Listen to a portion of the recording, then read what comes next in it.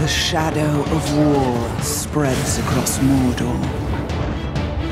Fortresses will fall. Powers will rise. Not only upon the clashing of blades, but upon the choices you'll make. Save me, master.